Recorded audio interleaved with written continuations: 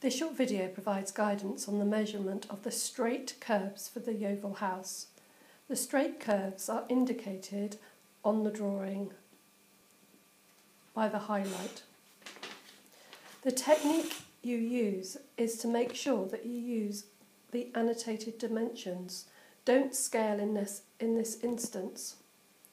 So let's have a look at the straight horizontal kerb. If we look at the lower kerb, the strategy we need to adopt is to measure overall and then deduct. If we look at how the drawing is annotated, we can see that we have an annotated length of 16 metres from the outside of the site to the paving slab.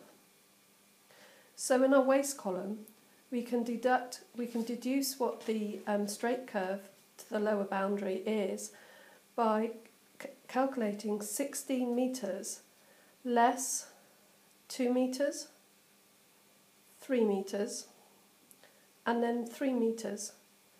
So we'll be left with the net straight kerb. Remember, when you have a radii given for a curved kerb, that that radii applies at all angles. So when we turn it to the horizontal, we know that the distance from here to here is 3 metres.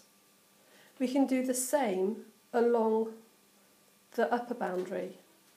So work out the distance from this point here to this point here because these are clearly annotated on the drawing. Then make a deduction for the over measure at this point and for the curved curbing. Also note the vertical curbing at this point here and here. It's good practice that as you measure, highlight what you, what you measure so it's very clear to see what you've omitted from your calculations.